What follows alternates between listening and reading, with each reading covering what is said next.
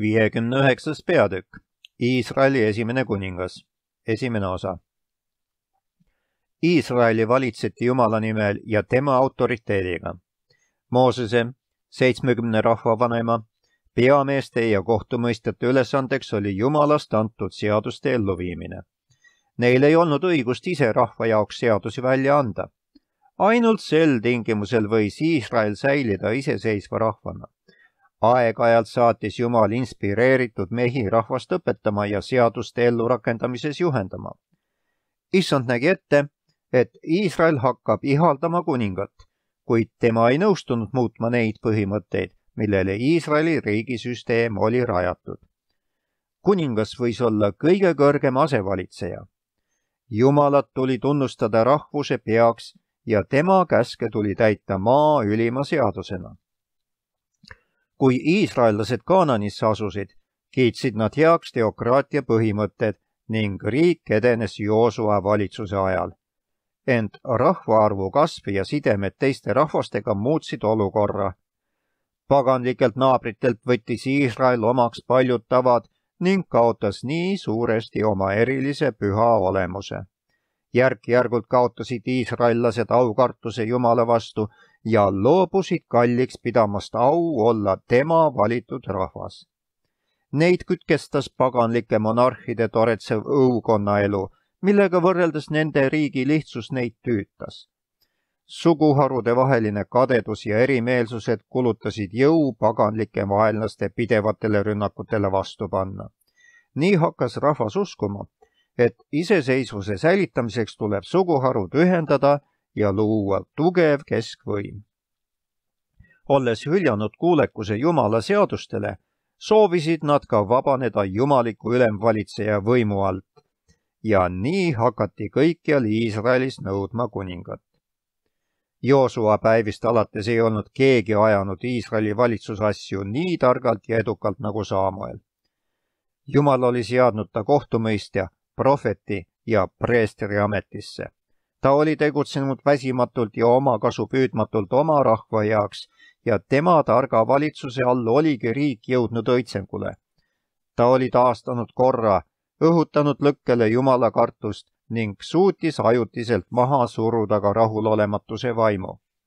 ent eakamaks saades tekkis vajadus jagada valitsusülesandeid ka teistega ning ta nimetas enda abilisteks oma kaks poega Saamuel jätkas oma ametikohustuste täitmist Raamas. noormehed aga tegutsesid Peersebas ning mõistsid rahvale kohut maa lõunapiiri lähedal.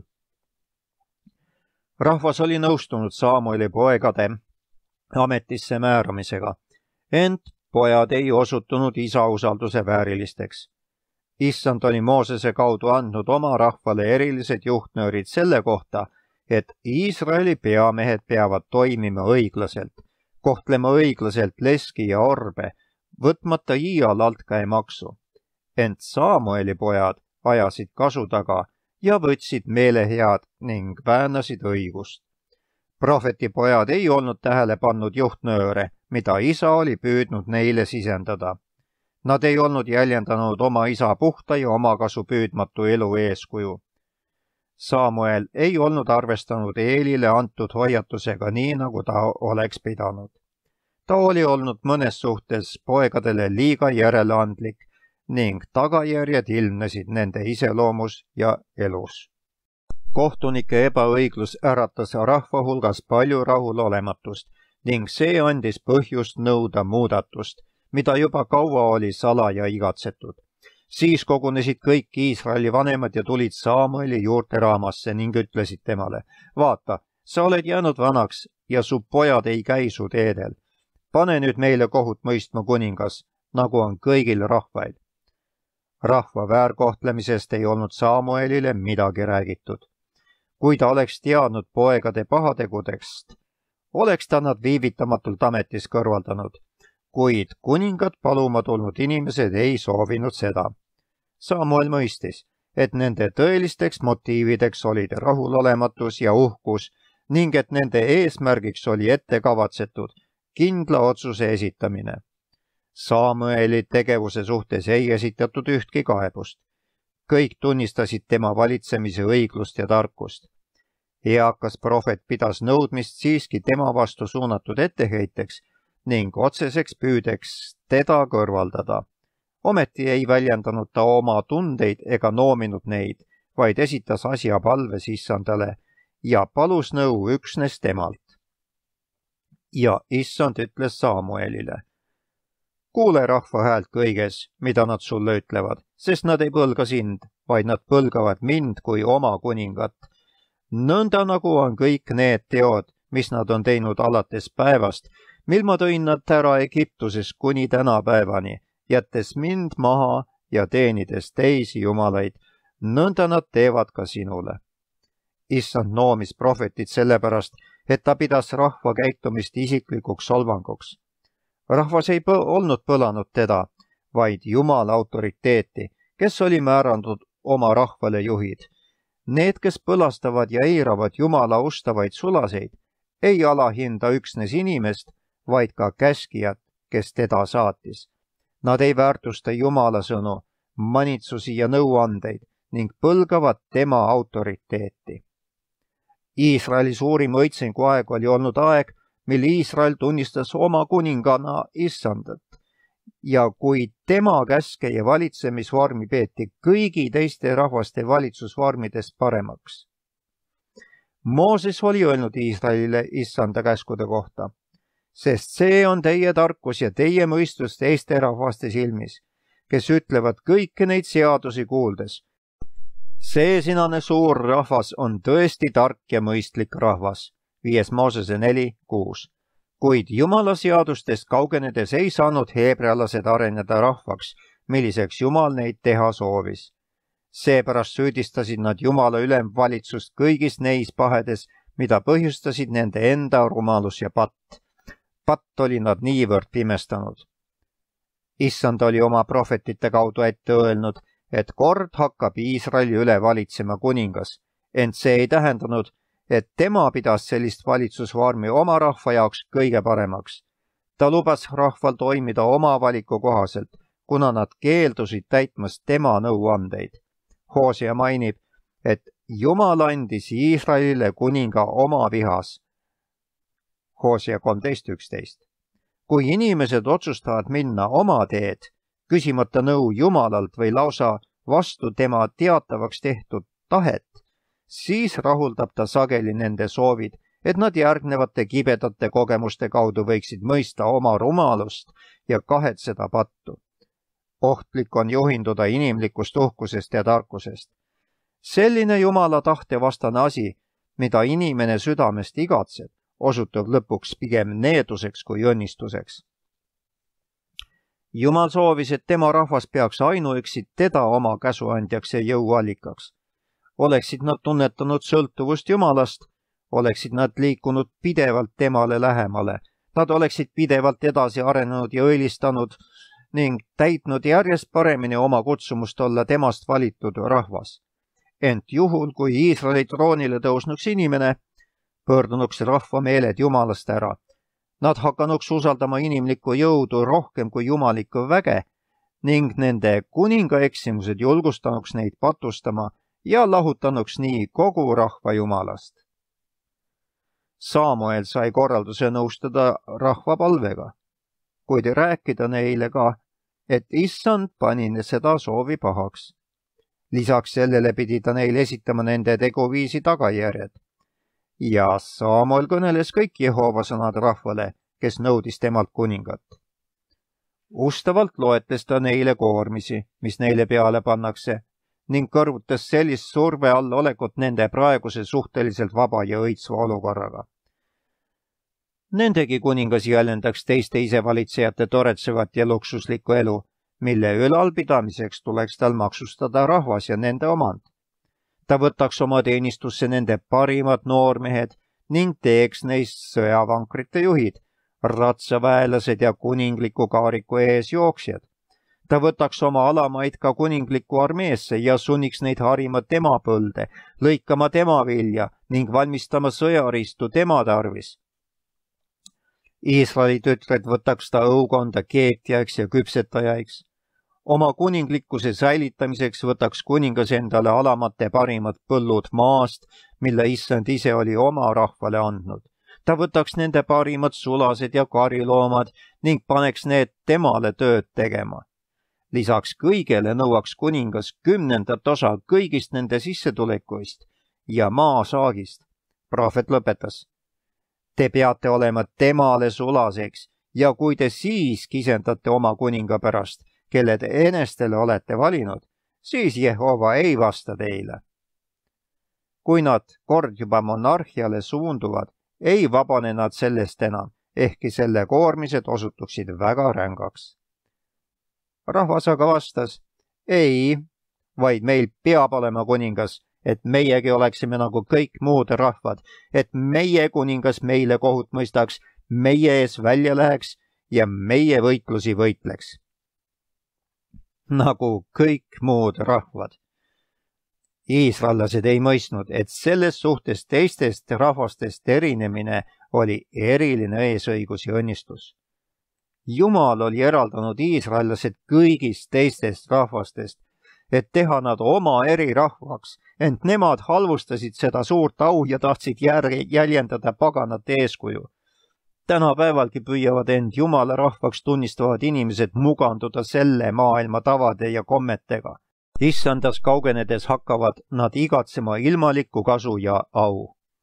kristlased püüavad ikka jäljendada nende elukombeid, kes teenivad selle maailma jumalat. paljud väidavad, et nad saavad jumala kartmatutele inimestele suuremat mõju avaldada siis, kui nad seltsivad ilmalike inimestega ja kohanevad nende tavadega ent kõik, kes nii teevad, lahutavad end jõuallikast. maailmaga sõbrunedes saavad nad jumala vaenlasteks. maise väljapaistvuse nimel ohverdavad nad selle kirjeldamatu au, mida Jumal soovib neile omistada, kui nad austavad tema aulisi tegusid, kes on kutsunud nad pimedusest oma imelise valguse juurde. esimese Peetruse kaks üheksa sügava kurbusega kuulas Saamuel rahva vastust, kuid issand ütles talle, kuule nende häält ja pane neile kuningas. prohvet oli oma kohustuse täitnud. ta oli ustavalt esitanud hoiatuse, kuid seda oli eiratud. raske südamega saatis ta rahva laiali ja läks ise tegema ettevalmistusi suureks muudatuseks valitsemissüsteemis Samueli puhas ja omakasupüüdmatult pühendunud elu oli pidevaks etteheiteks nii isekatele preestritele ja rahvavanematele kui ka uhkele ja meelelisele Iisraeli kogudusele. ehkki Samuel ei uhkeldanud ega püüdnud iialgi tähelepanu tõmmata endale, kandis tema töö siiski taevapitserit. teda austas maailma lunastaja, kelle juhtimisel ta Heebrea rahvast valitses kuid rahvas oli tüdinenud tema andunud vagadusest ning halvustas tema vähenõudlikku autoriteeti. Nad hülgasid tema, et saada etteotsa mees, kes valitseks riiki kuningana. Samueli iseloomus peegeldus sarnasus Kristusele. päästja elu puhtus ärritas saatana viha. päästja elu oli maailma valgus, mis paljastas varjatud kõlvatuse inimeste südames Kristuse pühadus ässitas tema vastu üles ennast jumalakartlikuks tunnistavad silmakirjatsejad. Kristus ei tulnud siia maailma rikkuse hiilguses. ometi näitasid tema teod, et tema võim oli suurem kui ühelgi inimlikul valitsejal. juudid ootasid Messiat, kes murraks rõhujate ikke, kuid lubaks neil jääda nendesse pattudesse, mis olid ikke põhjustanud kui Kristus oleks vaikinud nende pattudest ja tunnustanud ainult nende välist vagadust, oleksid nad võtnud ta omaks kui kuninga. ent nad ei talunud, et ta noomis kartmatult nende pahesid. Nad panid pahaks sellise iseloomu ilu, mille peajooneks on headus, puhtus ja pühadus ning mis vihkab ainult pattu, mitte midagi muud. sama on kordunud kõigil ajastutel. taevane valgus mõistab hukka kõik, kes keelduvad valguses kõndimast. kui pattu vihkavate inimeste eeskuju noomib silmakirjatsejaid, siis hakkavad viimati nimetatud saatana käsilastena kiusama ja vaenama ustavaid. kõiki, kes tahavad elada jumalakartlikult Kristuses Jeesuses, kiusatakse taga. teise Timotise kolm kaksteist. ehkki prohvetlikult oli ette kuulutatud, et Iisrael suundub monarhistlikule valitsemisvormile, oli Jumal jätnud endale õiguse valida neile kuningas. heebrealased austasid Jumala autoriteeti sel määral, et jätsid kuninga valiku täielikult tema hooleks ja nii langes valik Saulile Kiisi pojale Benjamini suguharust. tulevase isevalitseja isiklikud omadused rahuldasid seda südameuhkust, mis oli õhutanud rahvast soovi saada kuningast. Iisraeli lastest ei olnud ükski ilusam teda, esimese sammule üheksa kaks.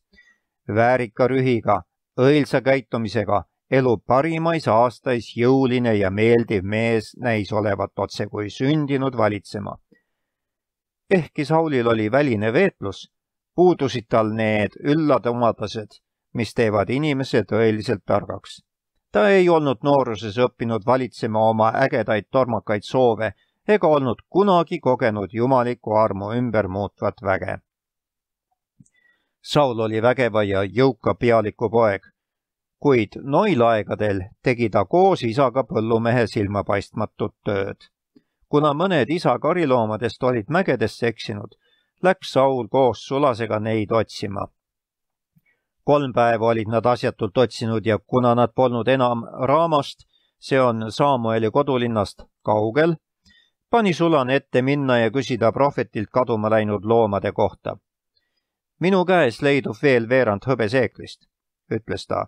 ma annan selle jumala mehele, et ta meile teed juhataks selline oli tolle aja tava. kui mindi lugupeetuma või kõrgemas ametis oleva isiku jutule, viidi talle lugupidamise märgiks väike kingitus.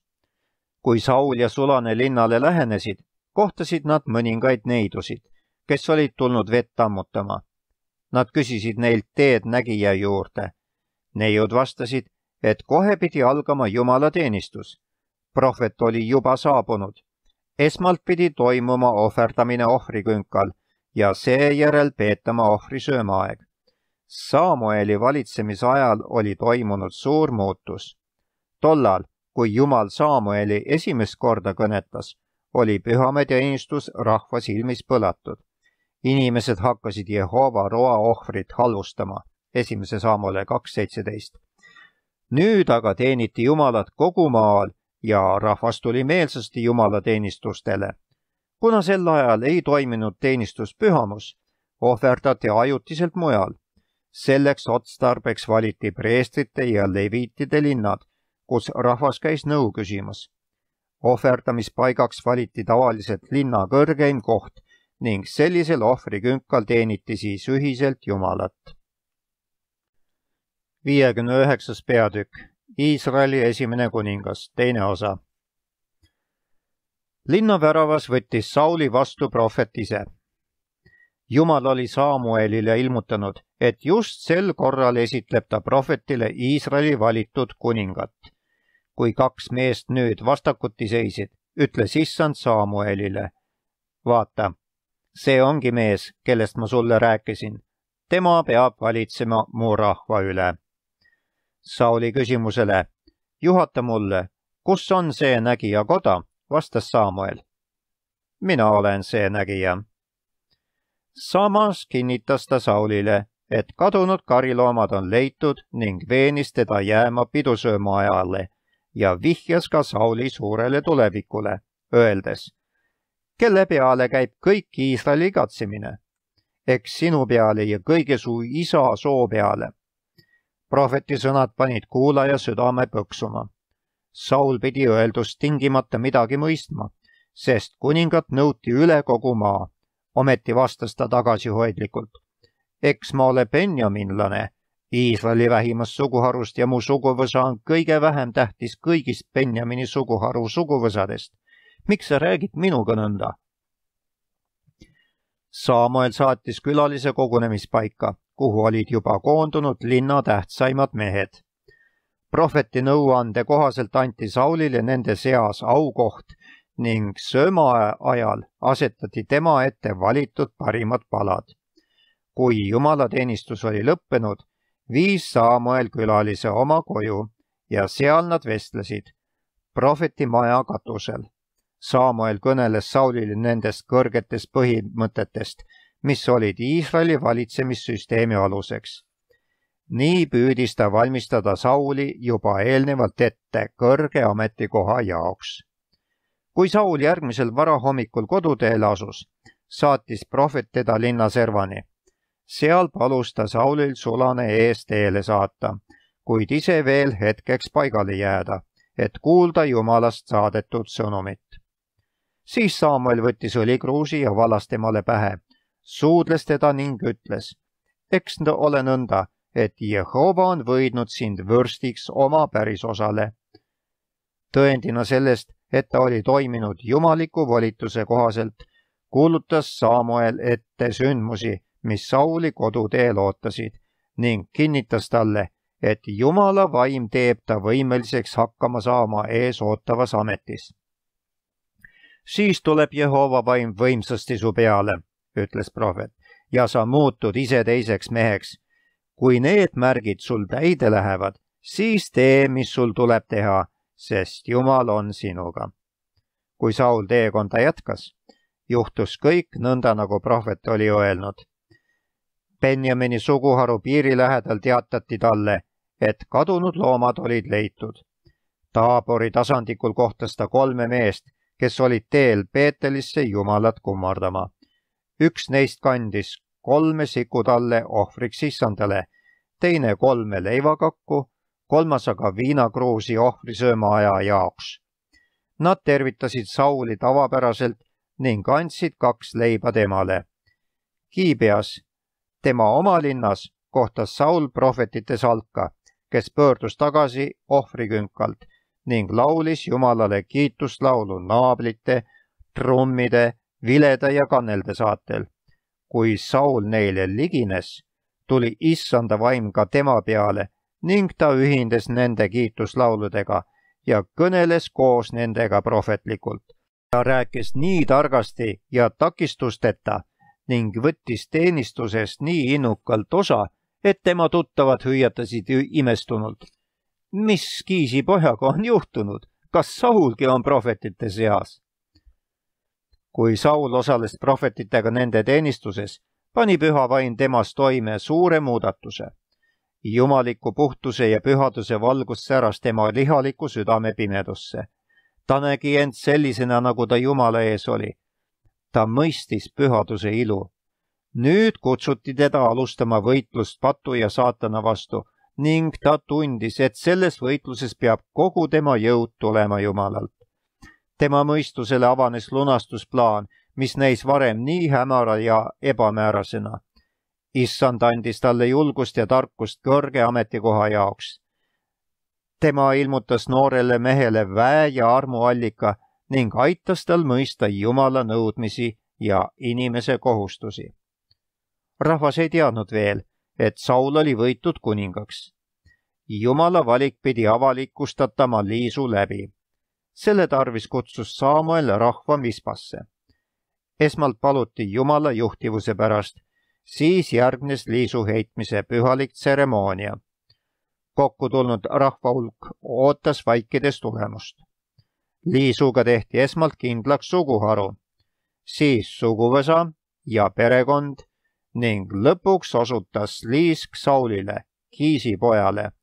tema sai valitud isikuks. Sauli aga polnudki kohal. ta oli salaja eemale läinud, tunnetades raskelt vastutust, mis oli peagi tema õlgadele laskumas. ent ta toodi rahva ette, kes uhkuse ja rahuloluga tõdes, et väljavalitul oli kuninglik välimus ja maneer ning ta oli peajagu pikem kui kõik muu rahvas. isegi Samuel, kes Sauli kokkutulnutele esitles, hüüatas. kas näete, kelle Jehova on valinud, sest tema sarnast ei ole kogu rahva seas. ja terve rahva hulk ühines valjuks rõõmuhüüdeks elagu kuningas. seejärel kõneles Samuel rahvale kuningriigi õigusest. ta esitas põhimõtted, millel rajanes monarhistlik valitsemissüsteem ja millega seda toestati. kuningas ei pidanud olema absoluutne isevalitseja, vaid pidi allutama oma võimu kõige kõrgema tahtele. Saameli kõne pandi kirja raamatusse, kuhu olid üles tähendatud kõik kuninga eesõigused ning rahvaõigused ja privileegid. ehkki rahvas oli Samueli hoiatust eiranud, püüdis Usta prohvet veel nüüdki nende soovile alistuma sunnitult kaitsta nende vabadust nii palju kui võimalik. ehkki rahvas üldiselt oli valmis Sauli oma kuningaks tunnistama, oli olemas ka suur rühm opositsionääre. Nemad ei suutnud taluda mõtet, et valitseja pärines Benjaminist, Iisraeli väikseimast suguharust ja seega jäeti kõrvale nii Juuda kui Efraim, kõige suurem ja kõige võimsam. valitsusvastased keeldusid vandumast ustavust Saulile ning andmast talle tavapäraseid kingitusi. just need, kes olid kõige tungivamalt kuningat nõudnud, keeldusid nüüd Jumalast määratud meest rõõmuga tervitamast. igal rühmitusel oli oma lemmik keda sooviti troonil näha ja mitmedki peamehed tahtnuks seda au endale. Paljude südames lõõmas kadedus. Nende uhkete ja auahnete taotluste luhtumine valmistas pettumust ja rahulolematust. kuna olukord oli selline, leidis Saul, et ta ei saanud veel kuninglikku võimu kasutama hakata. ta laskis Samuelil hoolitseda valitsusasjade eest nagu seni ja pöördus tagasi Kiibeasse teda saatis teel rühm poolehoidjaid, kes nägi tema valimises jumalikku kätt ja otsustas teda toetada. Saul ei tahtnud õigust troonile nõuda jõuga. Benjamini kodustel kõrgustikel hakkas ta vaikselt taas oma põllumehe tööd tegema ning jättis võimuküsimuse täielikult Jumala hooleks. peagi pärast Sauli valimist kuningaks tungisid ammonlased oma kuninga Nahase juhtimisel Jordanist iga ida pool asuvate suguharude territooriumile ja asusid piirama Gileadi Jaabesit. linna elanikud püüdsid sõlmida ammonlastega rahu, pakkudes neile andamit. ent julm kuningas ei nõustunud rahu sõlmima muul tingimusel kui vaid siis, kui ammonlased pistavad igal linna elanikul oma võimu jäävaks märgiks välja parema silma ümber piiratud linna elanikud palusid seitse päeva mõtlemisaega ammonlased nõustusid, arvates, et aeg suurendab nende võidukust veelgi. ent Jaabesist saadeti kohe käskjalad abipalvega Jordanist lääne pool asuvate suguharude juurde. käskjalad tõid sõnumi ka Kiibeasse, kus see tekitas üldist õudust. Saul, kes oli õhtu saabudes härgade kannul põllult koju tulemas, kuulis suurt kaebekisa. ta arvas, et on toimunud mingi suur õnnetus ja küsis mis rahval viga on, et nad nutavad? Kui talle kõneldi vaenlase häbistavast tingimusest, ärkas kogu tema suinuv jõud. jumala vaim tuli võimsasti ta peale ja ta võttis härjapaari, raius need tükkideks ning läkitas käskjalgadega kõigisse Iisraeli rajadesse, üteldes, kes ei tule välja Sauli ja Samueli järele, selle härgadega tehakse nõnda samuti Sauli käe alla Peseki tasandikule kogunes kolmsada kolmkümmend tuhat meest. ümber piiratud linna saadeti viivitamatult käskjalad kinnitusega, et abi saabub järgmisel päeval, just sel päeval, mil linn pidi alistuma ammonlastele. kiire õise rännakumarsiga ületas Saul oma armeega Jordani ning ilmus hommikuvahi ajal Jaabesi alla. nii nagu omal ajal Gideon nii jagas ka Saul oma väed kolme salka ning ründas varasel hommikutunnil ammonlaste leeri, kus just sel ajal osati kõige vähem aimata ohtu. paanikasse sattunud ammonlased said veriselt lüüa. järele jäänud pillutati laiali ega jäänud neist kaht ühtekokku. Saul oli ilmutanud just sellist kiirust, julgust ja juhtimisoskust, mida iisraellased olid kuningalt oodanud et olla võrdväärsed teiste rahvastega. nüüd tervitasidki nad teda oma kuningana, omistades võiduau inimesele ja unustades, et ilma Jumala erilise õnnistuseta oleksid kõik pingutused olnud asjatud. innustunult panid mõned isegi ette surmata need, kes algul keeldusid Sauli autoriteeti tunnustamast. ent kuningas ütles, sel sinasel päeval ei surmata kedagi, sest täna on Jehova Iisraelis abi andnud. nii ilmnes muutus, mis oli toimunud Sauli iseloomust. ta ei võtnud au endale, vaid omistas selle au Jumalale. ta ei olnud kättemaksuhimuline, vaid pigem valmis andestama ja halastama Need omadused tõendavad eksimatult südant mõjutavast Jumala armust. Nüüd kutsus Samuel rahvakoosoleku kokku Gilgalisse, et kuulutada Saul avalikult kuningaks. nii tehtigi. ja seal nad ohverdasid tänuahvreid Jehova ees ja Saul ja kõik Iisraeli mehed olid seal üpris väga rõõmsad. Gilgal oli olnud Iisraeli esimene leeripaik tõotatud maal siia oli Joosua jumalike juhtnööride kohaselt püstitanud Jordani imeväärse ületamise mälestuseks kaksteist kivi.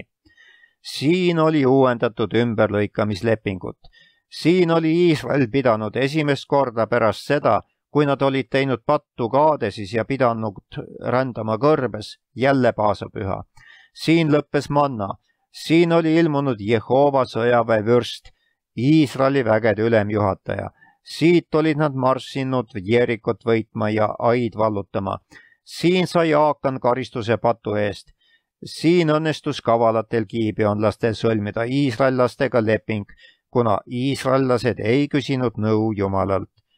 kui tervitushüüded kuningale olid vaibunud, lausus eakas prohvet rahvale pikaaegse rahvajuhi lahkumissõnad. ennäe, ütles ta, ma olen kuulnud teie häält kõiges mis te olete mulle ütelnud ja olen pannud kuninga teie üle valitsema.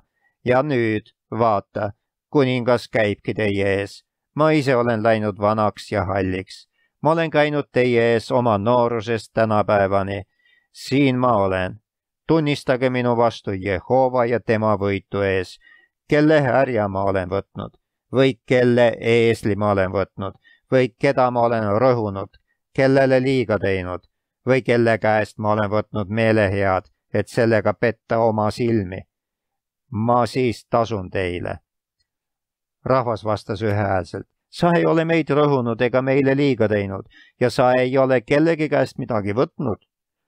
Samuel ei püüdnud nende sõnadega kaitsta oma elutööd. ta oli äsja esitanud põhimõtted, millest pidid juhinduma nii kuningas kui rahvas ning ta soovis öeldut toetada oma eeskujuga lapsepõlvest peale oli ta olnud seotud Jumala tööga ning oli kogu pika elu tegutsenud ainult Jumala auks ja Iisraeli hüvanguks. enne kui Iisrael võis loota õitsengule, tuli neil läbi elada meeleparandus. patu tagajärjel olid iisraellased kaotanud usu Jumalasse ja arusaamise sellest, et tema suutis oma väe ja tarkusega valitseda nende riiki. Nad ei lootnud enam sellele, et tema viib oma plaanid võidule. enne, kui nad tõepoolest rahu saanuks, tulnuks neil hakata mõistma ja tunnistama pattu, milles nad süüdi olid.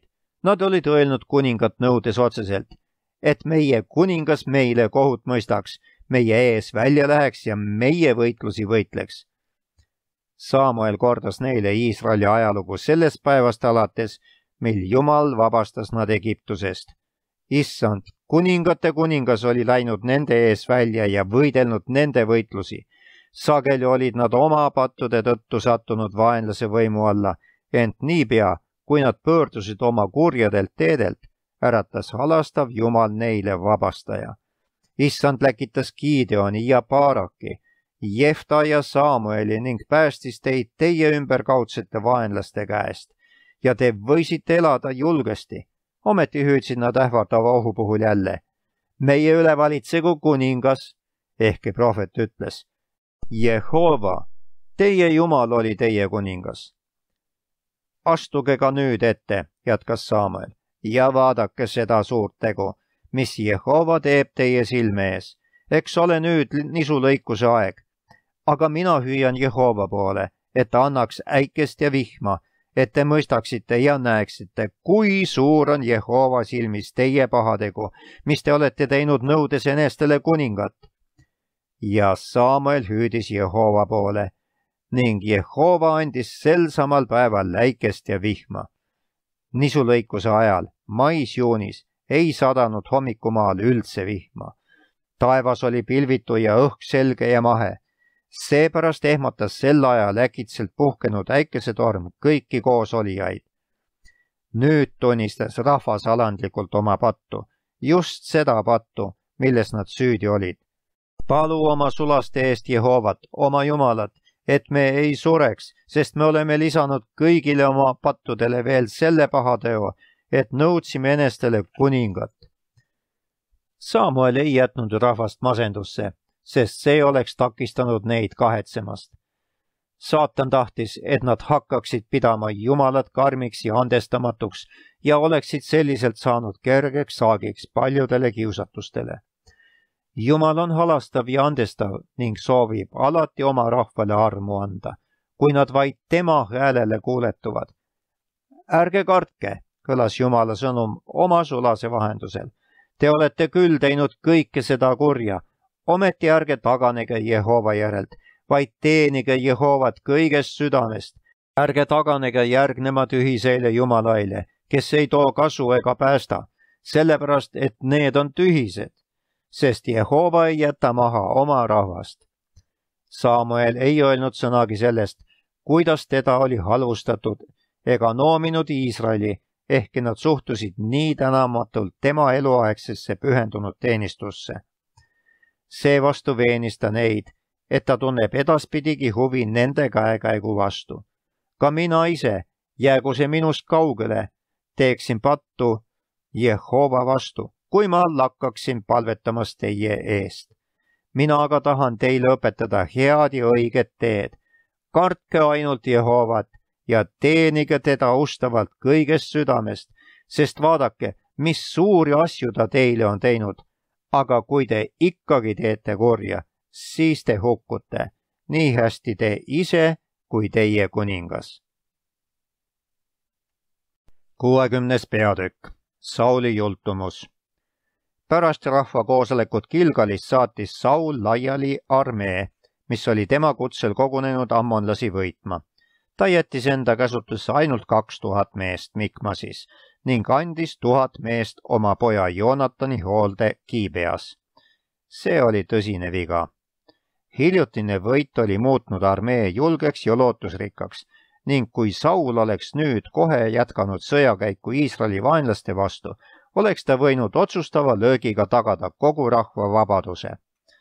samal ajal muutusid aktiivseks Iisraeli sõjakad naabrid vilistid pärast kaotust Ebenezeris jäid nende valdusesse mõned mäestikukindlused keset Iisraeli maad ning nüüd kindlustasid nad end otse maa südames.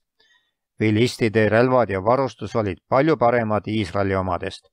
oma pika rõhuva ülemvõimu perioodil olid nad püüdnud võimu tugevdada sellega, et keelasid iisraellastel sepatöö viljelemise, et iisraellased ei saaks valmistada endale sõjariistu pärast rahu sõlmimist pidid iisraellased ikka veel pöörduma vilistide garnisonide poole, kui neil seppa tarvis läks. käega löönuina ja pika rõhumisperioodi kestel orjalikuks muutunuina olid Iisraeli mehed peaaegu täiesti hooletusse jätnud relvade hankimise. lahingus kasutati tol ajal ka vibusid ja linge ning neid võisid iisraellased hankida kuid odav või mõõka polnud rahva hulgas kellelgi teisel kui vaid Saulil ja tema pojal Joonatanil. alles Sauli teisel valitsusaastal tehti katset vilistid alistada. esimese löögi andis kuninga poeg Joonatan, kes ründas Kiibeas asuvat garnisoni ja võitis selle. sellest kaotusest ärritatud vilistid valmistusid kiireks rünnakuks Iisraeli vastu nüüd kuulutas Saul sarve puhumisega kogu maal välja sõjaolukorra ja kutsus Gilgalisse kokku kõik sõjakõlulised mehed ka teiselt poolt Jordanit asuvatest suguharudest. sellele korraldusele kuuletuti. vilistid olid kogunud tohutu väe Mikmassi, kolmkümmend tuhat sõjavankrit, kuus tuhat ratsanikku ja muud rahvast nõnda palju nagu liiva mere ääres kui sõnumid sellest Gilgalisse Sauli ja tema armeeni jõudsid, ehmus rahvas nii võimsa vastase väe ees. Nad ei olnud valmis vaenlasega kohtuma ja paljud olid nii hirmunud, et ei julgenud üldse välja minna. mõned põgenesid teisele poole Jordanit ja teised peitsid end koobastesse, kaevanditesse ja kaljulõhedesse, mida selles piirkonnas rohkesti leidus. sedamööda, kuidas aeg lahingusse astuda lähemale jõudis, kasvas desertööride arv veelgi ning sõjaväe ridadessegi jäänud olid halvaendeliselt meelestatud ja hirmunud. Sauli Iisraeli kuningaks võides oli Samuel andnud talle selged korraldused selle kohta, kuidas sellisel hetkel toimida. mine siis minu ees alla Kilgalisse ja vaata, ma tulen su juurde põletusohvreid ohverdama ja tänuohvreid tapma. oota seitse päeva, kuni ma tulen su juurde ja teen sulle teatavaks, mida sa pead tegema. esimese Samueli kümme kaheksa. Saul ootaski nüüd mitu päeva Kilgalis ilma et oleks püüdnud rahvast otsustavalt julgustada ja Jumalale lootma suunata. enne kui prohveti poolt määratud aeg lõppes, muutus Saul kärsituks. Samuelist polnud midagi kuulda ja sedamööda, kuidas olukord riigis muutus järjest teravamaks, Saul masendus. selle asemel, et ustavalt püüda rahvast ette valmistada teenistuseks, mida Samuel pidi tulema läbi viima, haarasid kuningat kahtlused ja halvad aimdused. Jumala palge otsimine ohvriteenistuse kaudu oli ülimalt pühalik ja tähtis toiming. Jumal nõudis, et tema rahvas oma südame läbi katsuks ja patte kahetseks, et ohver oleks talle vastuvõetav ning tema õnnistus saaks olla nende püüdega võita vaenlane. Saul oli aga muutunud kannatamatuks ja rahvas ei lootnud Jumala abile, vaid ootas, et valitud kuningas neid juhiks ja suunaks. issand hoolitses nende eest ikkagi ega lubanud neil tormata hävingusse, kuhu nad ainult inimliku nõdra käsivarre juhtimisel oleksid sattunud. Ta lubas neil jõuda kitsikusse selleks, et nad mõistaksid, inimesele toetumine on asjatu ning pöörduksid abipalvetega üksnes Jumala poole oli saabunud aeg Saul proovile panna. ta pidi nüüd näitama, kas ta loodab Jumalale või ei. kui ta Jumala korralduse kohaselt kannatlikult ootaks, osutuks ta inimeseks, keda Jumal saab usaldada oma rahva valitsemisel ka ärevatel aegadel. vastasel juhul osutuks ta kõhklevaks ja sobimatuks talle usaldatud püha vastutuse jaoks kas Iisraeli valitud kuningas võtab kuulda kõikide kuningate valitsejat? kas ta juhib oma araks muutunud sõdurite tähelepanu temale, kes igavesti võimsana võib nad päästa? Üha kannatamatumalt ootas Saul Samueli saabumist ning pani prohveti puudumise arvele segaduse ja laialijooksmise oma armees.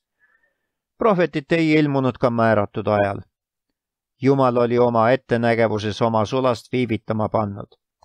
Saul oli juba nii rahutu, et ei mallanud enam tegevusetult olla. tema meelest tuli hirmunud rahvast kuidagi rahustada ja seepärast otsustas ta nad jumalateenistuseks kokku kutsuda, et ohverdamise kaudu Jumalalt abi paluda. Jumala korralduse kohaselt võisid ainult preestri ametisse pühitsetud mehed temale ohvreid tuua ent Saul kamandas, tooge mulle põletusohver ja tänuohvreid. ning ta ligines täies sõjavarustuses altarile ja tõi sellel ohvri Jumalale. aga kui ta põletusohvri ohverdamise oli lõpetanud, vaata, siis tuli Samuel ja Saul läks temale vastu teda teretama. Samuel nägi kohe, et Saul oli toiminud risti vastu talle antud selgeid juhtnööre. issand oli öelnud oma prohvetile, et sel korral ilmutab ta Iisraelile, mida neil tuleb sellises kriisiolukorras teha. kui Saul oleks täitnud jumaliku abi tõotuse tingimused, oleks issand päästnud Iisraeli imeväärselt nende vähestega, kes kuningale ustavaks jäid. Saul aga oli enda ja oma tegevusega niivõrd rahul, et ta läks prohvetile vastu pigem kiitust kui laitust saama. Samueli nägu väljendas äärmist ahastust ja muret. kui ta küsis, mis sa oled teinud, hakkas Saul oma jultunud tegu vabandama sõnadega. Kui ma nägin, et rahvas mu juurest laiali valgus ja sina ei tulnud määratud ajaks, vilistid aga kogunesid Mikmasse, siis ma mõtlesin, nüüd tulevad vistid mu vastu alla Kilgalisse. mina aga ei ole veel Jehova palet leevendanud. siis ma söandasin ja ohverdasin põletusohvri. Samuel ütles Saulile, sa oled talitanud mõistmatult sa ei ole pidanud Jehova oma Jumala käsku, mis ta sulle andis, sest nüüd oleks Jehova kinnitanud su kuningriigi Iisraelis igaveseks, aga nüüd su kuningriik ei jää püsima. Jehova on enesele otsinud oma südame järele mehe ja Jehova on teda käskinud olla vürstiks oma rahvale ja Samuel võttis kätte ning läks Gilgalist üles Benjamini kiibiasse. Pidi juhtuma üks kahest, kas Iisrael lakanuks olemast jumala rahvas või säilinuks siiski põhimõte, mille kohaselt riigi ülim valitsus kuulus Jumalale. Jumal oli valmis Iisraeli edasi valitsema, kui Iisrael täielikult temale alluks ning oma inimliku ja maise tahte Jumala tahtele allutaks ta saanuks olla nende kaitsja nii kaua, kui kuningas ja rahvas toimisid tema alamaina. Ükski monarhia aga ei saanud Iisraelis edeneda Jumala ülimat autoriteeti tunnistamata. kui Saul järginuks Jumala juhtnööre kriisi ajal, teostanuks Jumal tema kaudu oma tahte. nüüd aga osutus Saul kõlbmatuks tegutsema Jumala asevalitsejana Jumala rahva troonil ta juhtinuks Iisraeli eksiteele. tema tahe, mitte Jumala tahe, oleks muutunud juhtivaks. Kui Saul oleks olnud ustav, oleks issand kinnitanud tema kuningriigi igaveseks. kuna ta aga läbi kukkus, pidi keegi teine Jumala plaani ellu viima. Iisraeli valitsemine tuli usaldada inimesele, kes valitseks rahvast taeva tahte kohaselt. me ei tea alati, kui palju on kaalul siis, kui Jumal meid läbi katsub. seepärast on ainus julgeolek kuuletuda tingimusteta Jumala sõnale. Kõik tema tõotused on antud usu ja sõna kuulmise tingimusel ja kui me ei täida tema korraldusi, jäävad meie jaoks täitumata piiblis tõotatud suured õnnistused. me ei peaks tegutsema hetkeimpulsi ajel ega toetuma inimeste arvamustele vaid peaksime kõikides olukordades järgima Jumala ilmutatud tahet ja tema selgeid korraldusi. Jumal hoolitseb siis tagajärgede eest. tema sõnale ustavad olles võime kriisi ajal tunnistada nii inimestele kui inglitele, et issand võib meid usaldada ja teada, et me ka rasketes olukordades täidame tema tahet ning tegutseme tema nime auks ja rahvale õnnistuseks Saul oli kaotanud Jumala poolehoiu, ometi ei soovinud ta alanduses oma tegu kahetseda. Ta püüdis korvata tõelise vagaduse puudumist innukusega religioosses vormi täitmises. Saul teadis küll, milline õnnetus oli tabanud Iisraeli siis, kui Hofni ja Piinehas Jumala laeka leeri tõid, ent sellest hoolimata andis ta korralduse tuua kohale püha laegas ja selle eest hoolitseb preester ta lootis laekaga rahva usaldust nii palju võita, et väejooiksikudki armeesse tagasi tulevad ja vilistidega lahingusse astuvad. nüüd tahtis ta Samueli ligioleku ja toetuseta läbi ajada ja seega soovimatust prohveti kriitikast ja noomitusest pääseda. Saulile oli antud püha vaim valgustama mõistust ja pehmendama südant jumala prohvet oli teda ustavalt õpetanud ja vajadusel manitsenud. ometi, kui suur oli Sauli rikutus? Iisraeli esimese kuninga eluetapid on kurvaks näiteks varases nooruses õpitud väärharjumuste jõust. nooruses ei armastanud ega austanud Saul Jumalat ning tema tormakas vaim, mida õrnas eas polnud ohjeldatud alluma, oli alati valmis mässama ka Jumala autoriteedi vastu Need, kes suhtuvad nooruses Jumala tahtesse püha aupaklikkusega ja täidavad ustavalt eakohaseid kohustusi, on hilisemas elus valmis vastutusrikkamakski teenistuseks. ent need, kes on aastaid kasutanud vääralt Jumalalt saadud võimeid, ei suuda hiljem muutust soovideski kasutada neid võimeid vabalt ja edukalt täiesti vastupidises suunas.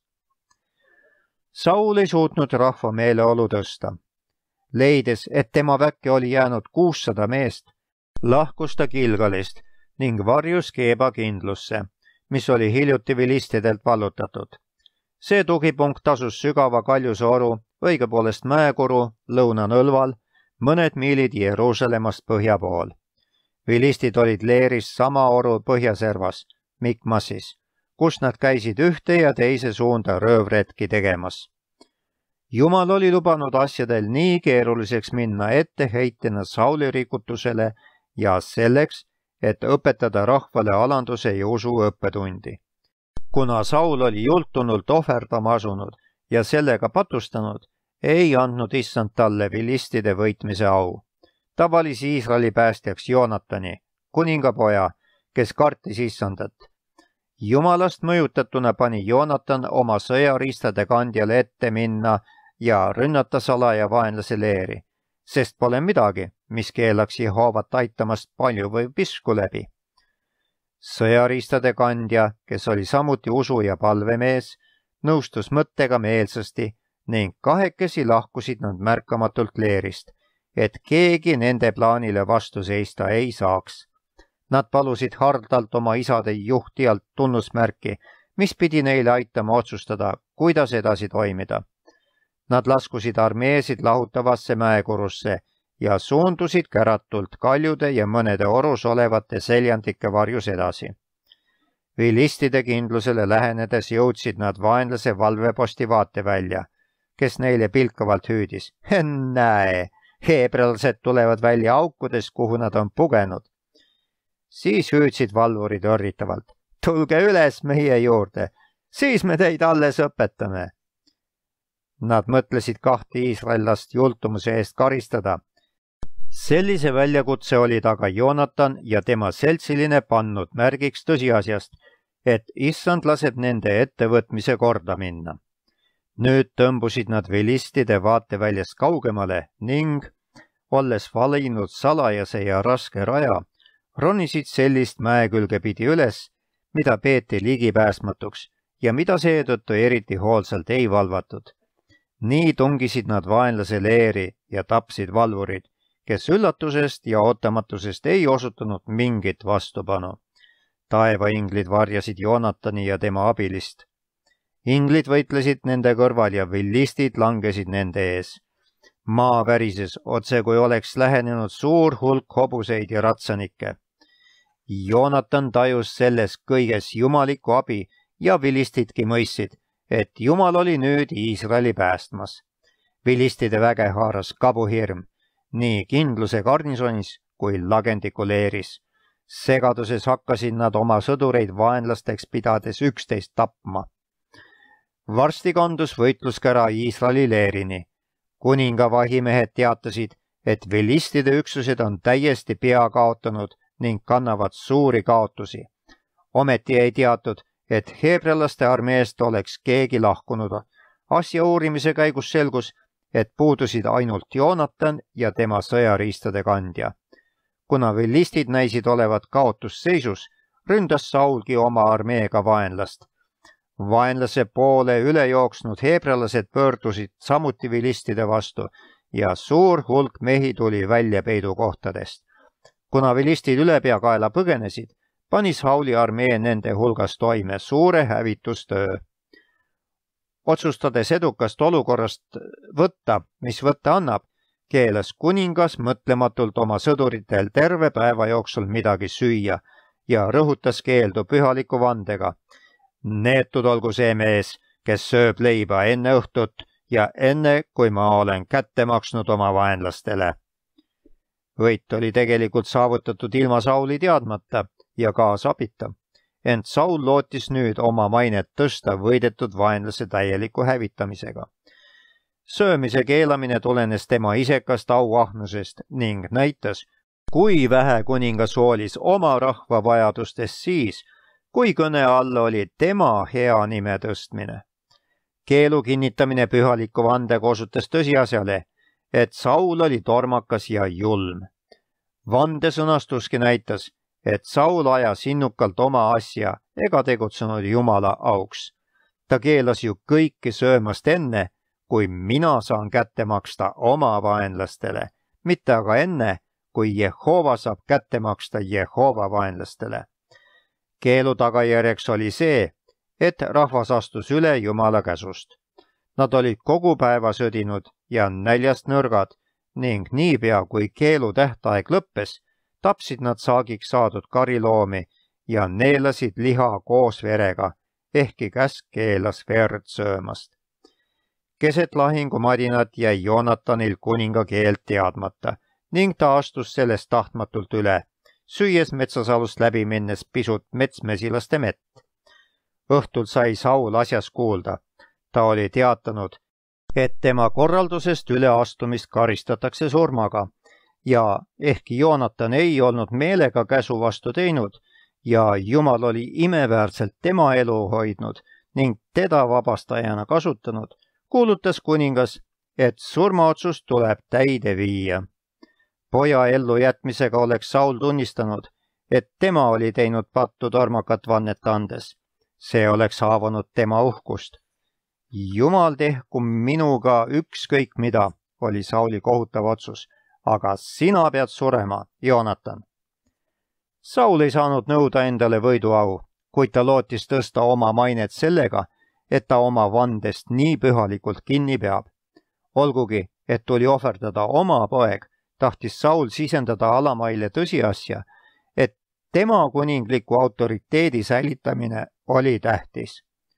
üsna pisut aega tagasi oli Saul esinenud Gilgalis jultunud preestrina Jumala korralduse vastaselt ning Samueli etteheidete peale ennast kangekaelselt õigustanud.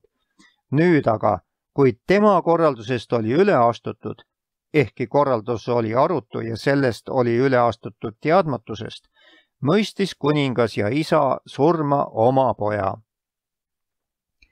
rahvas ei lubanud surmaotsust täide viia. kuninga viha trotsides ütlesid nad, kas peab Joonatan surema tema, kes on saavutanud selle suure võidu Iisraelis. jäägu see kaugele, nii tõesti, kui Jehova elab. ei tohi juuksekarvagi tema peast maha langeda, sest sel sinasel päeval ta tegi seda ühes Jumalaga. ülbe isevalitseja ei julgenud üksmeelset otsust eirata ja nii jäi Joonatan ellu.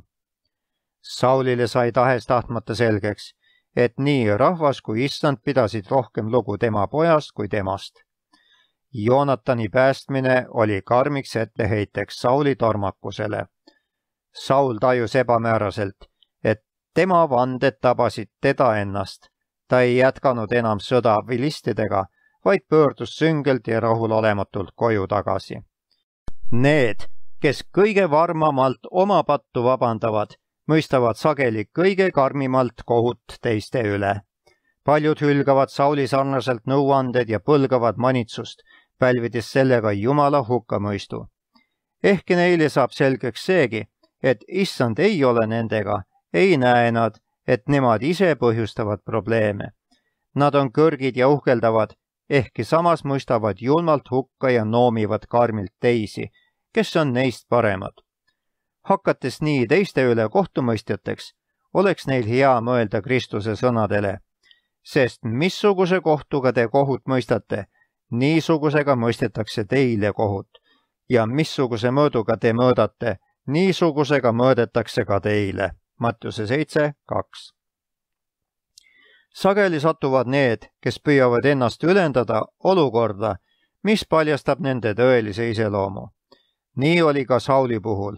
ta väljendas rahvale oma käitumisega, et kuninglik au ja autoriteet tähendasid talle rohkem kui õiglus, arm või headus nii nägi rahvas oma viga, neile Jumalast antud valitsemissüsteemi põlgamist.